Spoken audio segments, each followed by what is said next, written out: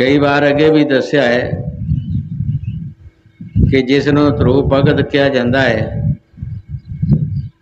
ਉਹ ਕਿਸ ਤਰ੍ਹਾਂ ਭਗਤ ਬਣਿਆ? ਇੱਕ ਦਿਨ ਆਪਣੇ ਪਿਤਾ ਦੀ ਗੋਦ ਵਿੱਚ ਬੈਠਾ ਸੀ, ਉਹਦੀ ਮਤਰੇਈ ਮਾਤਾ ਨੇ ਬਾਹ ਫੜ ਕੇ ਬਾਹਰ ਕੱਢ ਦਿੱਤਾ ਕਿ ਤੇਰਾ ਕੋਈ ਇੱਥੇ ਹੱਕ ਨਹੀਂ, ਤੂੰ ਇੱਥੇ ਬੈਠ ਨਹੀਂ ਸਕਦਾ। ਉਹ ਰੋਂਦਾ ਰੋਂਦਾ ਆਪਣੀ ਮਾਤਾ ਪਾਸ ਚਲਾ ਗਿਆ। ਉਹਨੂੰ ਕਹਿਣ ਲੱਗਾ ਕਿ ਤੂੰ ਇਹਨਾਂ ਦੀ ਨੌਕਰ ਹੈ ਜਾਂ ਰਾਣੀ ਹੈ। ਉਸਨੇ ਪੁੱਛਿਆ, ਕੀ ਗੱਲ ਹੈ?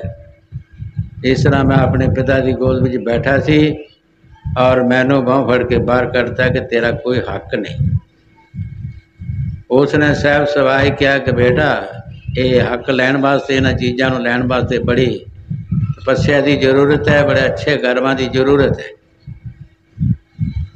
ਛੋਟਾ ਬੱਚਾ ਇਹ ਦਿਲ 'ਚ ਗੱਲ ਬੈਠ ਗਈ ਛੋਟੀ ਉਮਰ ਦੇ ਵਿੱਚ ਹੀ ਘਰੋਂ ਨਿਕਲ ਕੇ ਤੁਰ ਪਿਆ ਕਿ ਚਲੋ ਕਿਤੇ ਜਾ ਕੇ ਜੰਗਲ 'ਚ ਤਪੱਸਿਆ ਕਰਦੇ ਆ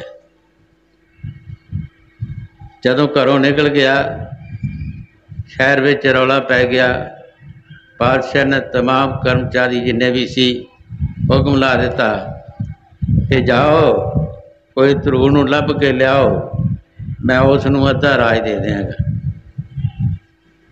ਕਿਸੇ ਨੇ ਜੰਗਲ ਜਾਂਦਿਆਂ ਨੂੰ ਜਾ ਕੇ ਲਵਾ ਤੇ ਕਿਹਾ ਕਿ ਤੇਰਾ ਪਿਤਾ ਤੈਨੂੰ ਅੱਧਾ ਰਾਜ ਦਿੰਦਾ ਹੈ ਤੂੰ ਵਾਪਸ ਚੱਲ। ਤੁਰੂ ਨੇ ਸੋਚਿਆ, ਮੈਂ ਤੇ ਅਜੇ ਭਗਤੀ ਕੀਤੀ ਨਹੀਂ। ਅਜੇ ਭਗਤੀ ਦੇ ਨਾਂ ਤੇ ਉਸ ਰੱਬ ਦੇ ਨਾਂ ਤੇ ਮੈਂ ਤੁਰਿਆ ਤੇ ਅੱਧਾ ਰਾਜ ਲਈ ਪਿਆ ਮਿਲ, ਜਿੱਥੇ ਮੈਨੂੰ ਕੋਲ ਬਹਿਣ ਨਹੀਂ ਸੀ ਦਿੰਦੇ। ਇਹਦੇ ਵਿੱਚ ਕੁਝ ਹੈ। ਕਹਿਣ ਲੱਗਾ, ਮੈਂ ਭਗਤੀ ਕਰਨੀ ਹੈ, ਮੈਂ ਈਸ਼ਵਰ ਦਾ ਨਾਮ ਜਪਣਾ ਹੈ, ਮੈਂ ਨਹੀਂ ਜਾਣਾ। ਚਲਾ ਗਿਆ ਜੰਗਲ ਵਿੱਚ, ਪਰ ਇਹ ਗੱਲ ਜਾਰੀ ਰਹੀ ਕਿ ਧਰੂ ਨੂੰ ਲੱਭੋ। ਇੱਕ ਦਿਨ ਕਿਸੇ ਸ਼ਖਸ ਨੇ ਜਾ ਕੇ ਲੱਭਾ। ਬੜੀ ਦੂਰ ਜੰਗਲ ਵਿੱਚ ਤਪੱਸਿਆ ਕਰਦਾ ਸੀ। ਉਸ ਨੇ ਕਿਹਾ, ਤੇ ਰਾਜੇ ਨੇ ਇਹ ਵੀ ਕਹਿ ਦਿੱਤਾ ਕਿ ਮੈਂ ਸਾਰਾ ਹੀ ਰਾਜ ਦੇ ਦਿਆਂਗਾ। ਕੋਈ ਧਰੂ ਨੂੰ ਲੱਭ ਕੇ ਲਿਆਓ।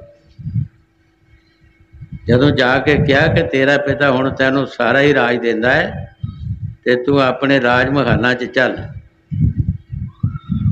ਧਰੂ ਨੇ ਸੋਚਿਆ ਕਿ ਈਸ਼ਵਰ ਦੀ ਭਗਤੀ 'ਚ ਬਹੁਤ ਬੜੀ ਤਾਕਤ ਹੈ।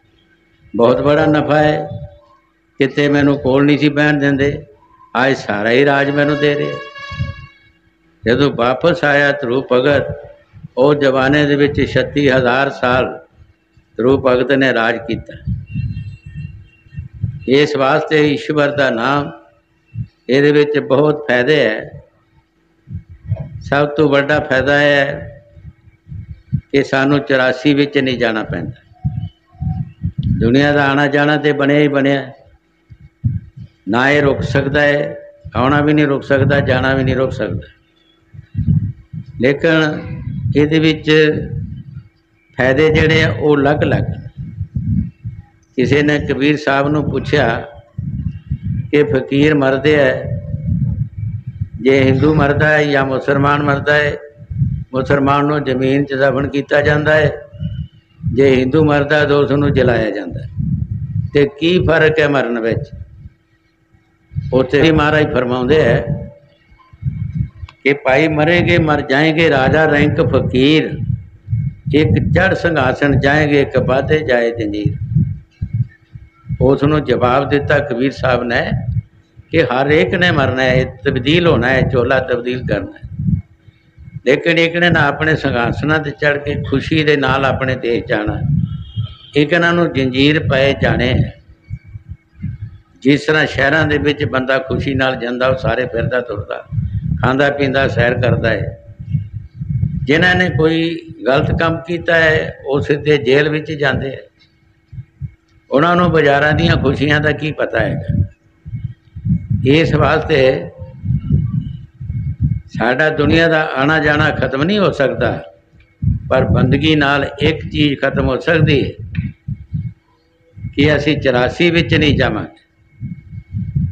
84 ਦੇ ਚੱਕਰ ਨਹੀਂ ਪਾਵਾਂਗੇ। ਅੱਜ ਕੁੱਤੇ ਵੇਲੇ ਕੀੜੇ ਮਕੋੜੇ ਪਸ਼ੂ ਪਰਿੰਦੇ ਨਹੀਂ ਬਣਾਂਗੇ। ਅਸੀਂ ਆਪਣੇ ਤੇ ਚਲੇ ਜਾਵਾਂਗੇ, ਆਪਣੇ ਮਾਲਕ ਨਾਲ ਮਿਲ ਜਾਵਾਂਗੇ। ਕਹਿ ਦਿਓ ਸਮੁੰਦਰ ਦੀ ਬੂੰਦ ਸਮੁੰਦਰ ਚਲਾ ਗਈ, ਸਮੁੰਦਰ ਬਣ ਗਈ। ਆਤਮਾ ਪਰਮਾਤਮਾ ਨਾਲ ਮਿਲ ਗਈ, ਉਹ ਵੀ ਪਰਮਾਤਮਾ ਬਣ ਗਈ।